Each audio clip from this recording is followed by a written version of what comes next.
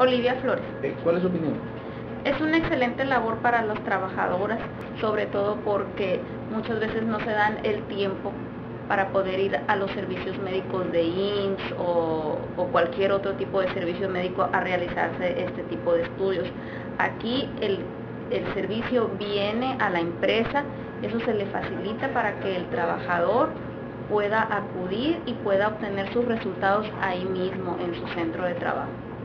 Para las mujeres que están indecisas en que si acuden o no acuden a, esta clínica móvil, ¿cuál sería su mensaje?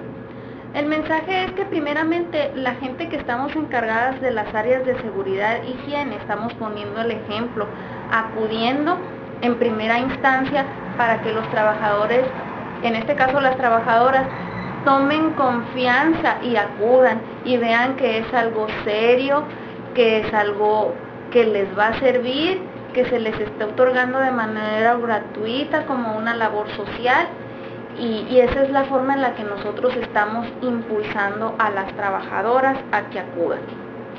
Perfecto. ¿Algo más que te gustaría agregar? Mm, eh, que nos gustaría mucho seguir contando con este tipo de labores. Muy bien. Ahí se lo hacemos llegar a la gente del sindicato y de Maquila para que lo tomen en cuenta próximamente y lo vuelvan a programar. Ok.